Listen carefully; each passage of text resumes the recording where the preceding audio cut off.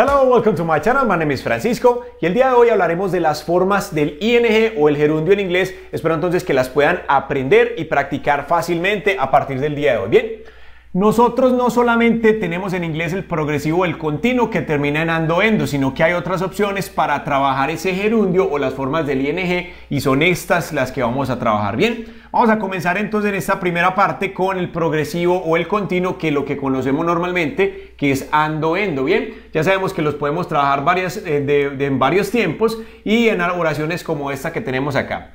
Let's take a look at the picture that we have here. Entonces la oración, la, la imagen que tenemos tiene un verbo. It has a verb. The verb is dig, es el verbo cavar. Entonces, ¿qué vamos a hacer? Con, esa, con ese verbo vamos a hacer esta oración número uno que dice así. El hombre estaba cavando con su pala. ¿Cómo haríamos eso? We say here, the man. Let's do it together. Vamos a hacerlo juntos. Estaba, we say was. Cavando. ¿Cómo es cavando? Ya sabemos que el verbo cavar es ese que está allá, que es dig. Pero Tengan mucho cuidado acá muchachos. Normalmente, ¿qué es lo que hacemos? Agregamos ing, ¿sí o no? Para que sea, está diciendo cavando. Aquí es donde estamos trabajando la terminación ando, en esa primera parte. Pero recuerden que el ing tiene unas reglas. Yo en el canal tengo un video relacionado que se lo voy a dejar también al final para que usted lo pueda observar. Porque hay unas reglas y esto sería incorrecto gramaticalmente. ¿Por qué no? Dice así. Cuando tenemos un verbo que es monosilábico, o sea, una sola sílaba, y termina en consonante, vocal, consonante, ¿qué es lo que debemos hacer? Duplicamos la G y agregamos ING. Bien, tenga presente que hay unas excepciones, por eso le invito a ver ese video cuidadosamente. Entonces ahí sí, ya dice, the man was digging, el hombre estaba cavando con su pala, ya agregamos ese complemento. We say here, with this shovel. Ahí está entonces ya la oración número uno terminada. Look at this number two. Los niños están aprendiendo inglés. Vean los que lindos allá aprendiendo inglés. Y tenemos el verbo que es the verb learn, el verbo aprender. Entonces, ¿cómo diríamos acá? Vamos a decir the kids, ¿sí? Los niños. Pacho, yo puse the children, no hay problema, es lo mismo. The kids, the children, están aprendiendo inglés. Entonces, ¿cómo sería? Is or are? We say here are. El verbo aprender, que ya sabemos que es el que tenemos ahí arriba, que es learn, pero necesito decir aprendiendo. Mire la terminación endo que estamos trabajando en esta parte. Entonces, ¿qué hacemos muchachos? Le ponemos el ing y ya. Ahora sí, learning, and we say here English. Esta es uno de los usos más comunes de esa parte del gerundio. Espero entonces que lo puedan poner en práctica porque esto es la más sencilla. Bien, ya vamos a pasar entonces a la otra forma. Permítame, borro el tablero y ya vuelvo con ustedes. Muy bien muchachos, vamos a mirar entonces la segunda manera de trabajar este gerundio, las formas del ing en inglés y lo vamos a trabajar como sujeto u objeto. Entonces tenemos dos alternativas. Recuerden que un sujeto puede ser un sustantivo, un pronombre, algún animal, un objeto, una persona y esos sujetos son los que realizan las acciones. A diferencia de los objetos, porque los objetos son los que ¿qué? Los que reciben la acción. Bien, entonces vamos a mirar en esta imagen lo que es. Number one, cocinar es su pasión. Ahí tenemos el verbo, ¿cuál es? The verb is, the verb cook, que es cocinar. Entonces, ¿qué pasa? Acá es cuando vamos a empezar a ver algunas diferencias y ya no vamos a, ver cocinar como siempre, de pronto estamos acostumbrados, sino que vamos a trabajarlo como esto. Cooking. Ustedes dirán, Pacho, pero eso no es cocinando. Esta es de las otras alternativas y ya les voy a mostrar por qué. Entonces, ¿qué dice ahí? Cocinar es su pasión. Entonces, we say cooking es la pasión de quién, la suya, no la de él, o sea que sería cuál, cooking is his passion. Ahí está entonces la primera forma, cocinar es su pasión. Pacho, pero ¿por qué eso está así? En este caso, este sujeto está haciendo una acción. Mire que después de este sujeto tenemos pareciera que tuviéramos dos verbos acá, cocinando es su pasión, pero eso realmente no tiene sentido así. Entonces, ¿qué va a pasar? Aquí ya este ing o este gerundio está haciendo el papel de sujeto porque está realizando la acción. Bien, entonces vamos a mirar la diferencia entre este que hace la acción a este objeto que la recibe. Entonces, con la misma imagen podríamos decir, su pasión es cocinar. Entonces, mire la posición de cocinar. Está ya como objeto, ¿sí? O sea, que va a recibir todo, toda esta oración le va a recaer allá. Entonces, ¿cómo diríamos acá? Su pasión es cocinar. We say here, his passion His passion is cooking. Simplemente de esa forma lo vamos a manejar. Bien, ahí está también la alternativa de hacerlo. Tengan muy presente muchachos que en algunos también se podría colocar his passion is to cook, ¿sí? Con la parte del infinitivo, ¿sí? Podría ser, pero no todo el tiempo es posible. En este caso lo más adecuado es manejarlo con el ing. Después haremos un verbo sus con el infinitivo y la parte de gerundio. Look at this number two, look at the picture. Viajar es lo que amo, ¿sí? Ahí tenemos el verbo, el verbo viajar que es travel. Entonces, ¿cómo diríamos acá? Viajar, teniendo presente eso, ¿cómo diríamos eso entonces? We say here traveling. Yes, traveling es, sí, es what I love, ¿sí? Es lo que yo amo. Mire qué fácil eso. Viajar es lo que yo amo. Recuerde que esto puede significar lo que o también puede significar la que. Tenemos esas dos alternativas de trabajo. Bien, con ese what. Tengan mucho cuidado también muchachos que normalmente como sujeto siempre vamos a trabajar los verbos en singular, lo que es is, por ejemplo, o was en pasado, entonces se van a manejar en singular esos verbos cuando se realiza la acción con este gerundio como sujeto. Bien. La número dos es un poco parecida, pero ya vamos a cambiar, vamos a empezar con ese what. Lo que amo, ¿cómo se dice lo que? Ya sabemos, entonces ¿cómo es? Simplemente coloquemos aquí what. Lo que yo amo, entonces what I love, what I love es, ¿qué es lo que amo? Viajar. Entonces aquí es donde vamos a trabajar el ing. What I love is travel. Ahí está entonces esa otra manera de trabajar como sujeto u objeto el ing o el gerundio. ¿Listo? Vamos a la tercera forma. Ya vuelvo con ustedes. Muy bien muchachos, esta es la tercera forma de trabajar ese ing o ese gerundio y es después de una preposición after a preposition. Tenemos un pequeño listado de preposiciones, como ustedes saben hay muchas más preposiciones que podríamos trabajar y en la opción de descargas al lado del ejercicio les dejaré una tablita con bastantes preposiciones y su significado para que puedan utilizarlas. Bien, entonces ¿qué pasa? Recuerden que una preposición es muy interesante porque te indica el lugar, el tiempo, el momento, el propósito, ¿sí? Indica muchas cosas dentro de la oración y te da mucho contexto. Entonces, según eso, ya podríamos hacer esta oración número uno y teniendo en cuenta esa imagen, lo que es, esta llave es para abrir la puerta, ¿cómo la haríamos? Ya sabemos que el verbo que vamos a trabajar es el verbo open, entonces ahí está el verbo abrir. Ahora, Vamos a identificar en esta oración cuál es la preposición, ¿qué? cuál palabra de acá nos está diciendo el propósito o la intención. ¿Cuál es? Es la palabra para. Mire, esta llave es para. Ahí está la preposición, muchachos. Recuerden que da intención o propósito. Entonces, ¿cómo haríamos esta oración? Let's do it together. Vamos a hacerla juntos. This key is. Mucho cuidado con lo que les voy a comentar acá, por favor. Bien, atentos. Entonces, ¿qué pasa? Acá podría yo utilizar este to, ¿sí? que es otra preposición. Luego viene el verbo open del que estamos hablando. Y lo que vamos a hacer a continuación es colocar por acá el complemento que es the door. Ahí está. Esta es una muy buena oración. This key is to open the door. Esta llave es para abrir la puerta. No siempre usted tiene que cambiarlo. Eso depende mucho del contexto. Sé que tendríamos que analizar. Pero Vamos a hablar algo acá importantísimo. Cuando usted esté utilizando la preposición to, este verbo que viene no puede ir con gerundio, no puede ir con el ing. ¿Listo? Entonces, si vamos a colocar el to, ya sabemos que lo vamos a dejar simplemente así. Tenemos otra alternativa, que es donde viene a actuar el gerundio, que es simplemente lo siguiente.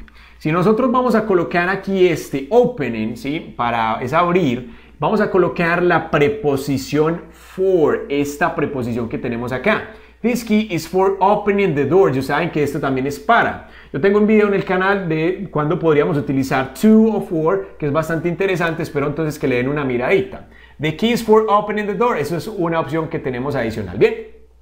Let's continue with number two. Iré después de revisar mi email. Entonces ahí está una preposición. Recuerde que dice un momento. Las preposiciones hablan de momentos. ¿Cuál es la palabra que nos indica un momento acá? Después de. ¿Sí? Y después de, ¿cuál preposición es? Es esta. After. Esa es la preposición. Bien, y ya tenemos acá nuestro verbo que es el verbo check, que check es revisar o chequear también. Entonces haremos esta oración que dice así, I'll go, yo iré, este es el will abreviado, I will go o I'll go, después de, ya sabemos que es cuál, we say here after, esta es la preposición. After ya trae el de incluido, ¿sí? Entonces después de está ya aquí. ¿Después de qué? Después de revisar, que ya sabemos que es el verbo check. ¿Sí? Pero como estamos hablando con el gerundio y estamos diciendo que el ing viene después de una preposición, acá está la preposición y acá tenemos el gerundio. After checking my email. Ahí está entonces esa oración número 2 ya terminada. Let's continue with number 3. Estoy acostumbrado a ir allá. Mucho cuidado con lo que vamos a hablar acá. Estoy acostumbrado. Esto hace una, una, diferencia con un poco de preposiciones que tenemos allá. Entonces, como digo, estoy acostumbrado, I say am used to. Esto ya lo trabajamos en el canal, el uso del used to. Pero, ¿por qué lo traigo? Porque hay unos verbos como used to, como object to, como looking forward, ¿sí? Que ya están con el verbo y la preposición al lado. Está obligado a trabajar ese to allí. Entonces, ¿qué es lo que pasa?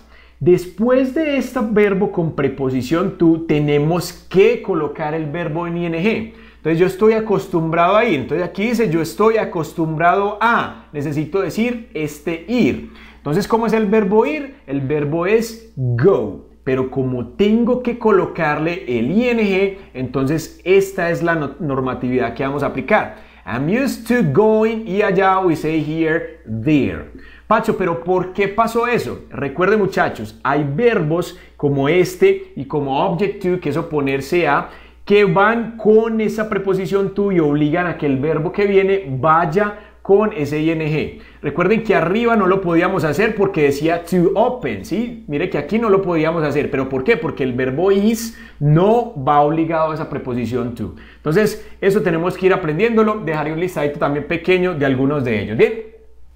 Look at this number four. Ella siempre lee antes de dormir. Entonces tenemos acá el verbo leer y el verbo dormir que van a ser la parte. Pero, ¿cuál es la preposición? ¿Qué nos va a indicar el momento? El momento antes de. O sea que la preposición es before. Ahí está entonces. ¿Cómo haríamos esta oración? We say here. She always. Ella siempre. Ella siempre qué? She always reads. Recuerde que le ponemos la S por la tercera persona de singular que estamos hablando allí antes de, ella siempre lee antes de dormir, entonces ¿cómo es antes de? Es before. Pasa lo mismo de arriba con after que después de ya está incluido, antes de ya está incluido también, entonces vamos a colocar ese before acá. Antes de dormir, ¿Cómo tendríamos que poner ese verbo dormir que está allá? Lo tendríamos que poner con qué? Con el ing. ¿Por qué? Porque esa es la regla que estamos trabajando, que después de esa preposición que tenemos acá, el verbo tiene que ir con ese ing. Bien, no es después de durmiendo, no, después de dormir. Bien, vamos entonces a pasar a la cuarta forma de trabajar este gerundio. Ya vuelvo con ustedes. Muy bien muchachos, vamos a mirar entonces la forma número 4 que es como adjetivo el gerundio. Bien, entonces recuerden que los adjetivos responden al cómo son o al cómo están las cosas, sin embargo en el gerundio se responde al cómo es. Listo, entonces vamos a identificar varias cosas acá. Bien, look at this picture number one. Fue un juego desafiante. Entonces, ¿cuál es el verbo desafiar? Vamos a hablar del verbo desafiar. ¿Cuál es? Ahí está, challenge. Ese es el verbo desafiar. Listo. Entonces, ¿qué es lo que vamos a hacer? Aquí es donde uno trata o se llama un tema de adjetivar esos verbos. Entonces, como decimos, fue un juego desafiante. ¿Qué es lo que fue? Algo fue. Entonces empezamos con it. Recuerden que si tiene dudas del manejo del it, en el canal hay un video relacionado para eso. Entonces fue, entonces decimos it was. Un juego desafiante. Entonces, ¿qué va a pasar? Recuerde que acá, ¿cómo es el juego? Desafiante. Esto se convierte en nuestro adjetivo y necesito trabajar esa palabra challenge, que es el verbo desafiar allá. Mucho cuidado. Pero no lo puedo colocar como challenge. Entonces, ¿qué tiene que pasar ahí? Tenemos que colocarlo con ing. Y recuerde que en inglés los adjetivos vienen primero. Entonces, ¿qué voy a colocar acá? It was a challenging, ¿sí? Esta es la forma de adjetivar, colocando ing. Challenging eh, fue un desafiante juego y voy a colocar aquí simplemente game. Yes, it was a challenging game. Fue un juego desafiante o fue un desafiante juego, si lo quieren entender así para que sea mejor. Bien, pero recuerden que el adjetivo lo movemos. Entonces, ¿qué le hicimos? Agregamos ing. Look at this number two. Ella está en un lugar interesante, ¿sí? Entonces, ¿cómo es el lugar? Interesante. Ya sabemos que este entonces es nuestro adjetivo y el verbo es interesar, que es interest, ¿sí? Ahí está ese verbo. Entonces, vamos a hacer esta oración como diríamos ella está. She is. en un lugar interesante. Vamos a colocar, puede ser in, sí, porque está allá adentro. En un lugar interesante. Entonces ya sabemos que el adjetivo es con interesante. Entonces voy a colocar acá. She's in an interesting. Sí, vamos a colocar ese ing. Interesting place. Sí, que ya sabemos que place es lugar. Entonces, ¿qué dice? She is in an interesting place. Ella está en un lugar interesante. Muchachos, tengan cuidado con la diferencia del uso de esto. Ahí en el canal también un video para que se puedan apoyar un poco con este uso, ¿sí? Entonces voy recomendándoles una que otra cosita por allí. Finally, number three. Esta no es una cuerda de saltar. ¿Sí? Entonces, ¿cómo es la cuerda? De saltar. Entonces, esto ya, ese verbo jump que tenemos acá, se va a convertir en un qué? En un adjetivo. Entonces, como digo, esta no es una cuerda de saltar, vamos a colocar aquí this es not, ¿sí? O isn't, como lo quieran hacer, la forma corta también no hay problema. This isn't a cuerda de saltar. Entonces, ¿cómo es saltar? ¿Qué es el que vamos a mover? Recuerde que vamos a hacer este cambio. We say jump, pero como estamos trabajando el gerundio, ponemos ing. Jumping y cuerda, we say here, o lazo, we say here rope. This is not a jumping rope. Ahí está entonces la forma número 4 como adjetivo y ese gerundio va muy bien muchachos. Ya vamos a seguir entonces con la quinta forma de trabajar. Ya vuelvo con ustedes. Muy bien muchachos, hemos llegado entonces al final con esta número 5 que habla de después de algunos verbos. Entonces aquí tenemos una pequeña lista de verbos, sin embargo hay muchos más que les compartiré también en la opción de la práctica. Bien, entonces tenemos esta oración número uno, lo que es, me gusta comer pizza. Bien, entonces ahí tenemos el verbo gustar, que es el verbo like, y lo podemos hacer de dos formas, ya se las voy a mostrar. Entonces, ¿a quién le gusta? A mí, entonces voy a empezar por ese. I like, y vamos a hablar de comer. Después de este verbo es que voy a colocar el siguiente, que es comer, en la forma de gerundio. Queda como quedaría esto, entonces quedaría así. I like eating, me gusta comer pizza. Recuerde que ahí no dice me gusta comiendo pizza, no, me gusta comer. Sin embargo, este like como start and love permiten hacer dos trabajos diferentes, o sea que podríamos hacer I like eating o I like to eat pizza, ¿sí? Hay varios de allí, incluso hay muchos más que podrían trabajar con el gerundio o el infinitivo. Después haremos un video del versus para que entendamos un poco más cuando trabajarlos. Number two, nos encanta ir al cine. Entonces ya sabemos que el verbo amar o encantar es este. ¿A quiénes nos encanta? A nosotros. Entonces vamos a colocar aquí we love. Ir es el verbo que sigue, que es el verbo cuál? El verbo go. Entonces lo vamos a colocar con ese gerundio, quedaría así. Uh, we love going, yes, going to the cinema. O going to the movies. También ya saben que podríamos colocarle este otro final, que es movies. We love going to the movies. Bien. Este aplica para lo que hacíamos arriba, entonces podríamos decir we love to go to the movies, yes, o to the cinema. No hay ningún problema si lo hacen así.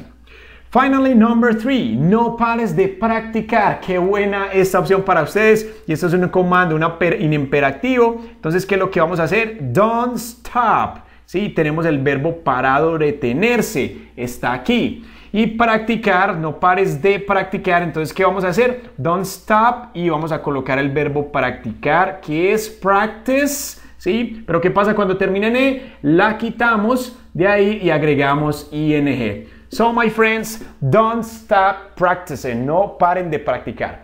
Espero entonces que les haya gustado mucho esta maratón que hicimos con el gerundio y el ing y que practiquen muchachos. Recuerden que es lo más importante. Bien, espero que le den me gusta a este video, que lo compartan con sus amigos y lo más importante, que lo puedan aprender y practicar. Bien, muchachos, nos vemos la próxima clase. Bye bye, my friends. See you next class.